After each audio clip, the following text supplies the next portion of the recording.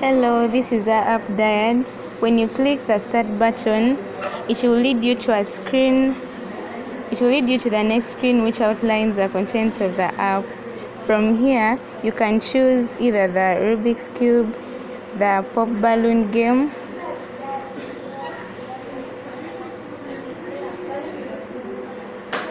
the Pop Balloon game, where you will have to pop the balloon so, av- so as to score marks.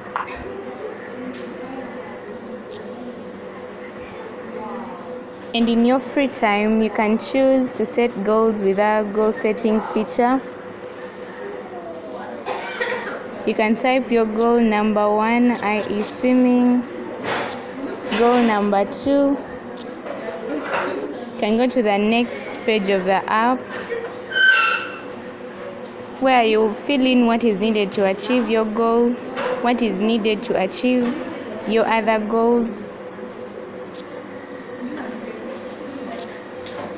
And most importantly, you can cope with dyslexia using our app.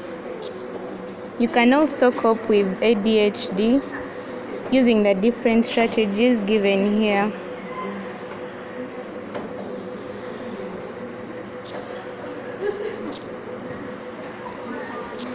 In our future, and in the future, we hope to build more features with our app. For example, the word search game, a reminder, and a feature where users are able to interact with each other within the app. Thank you.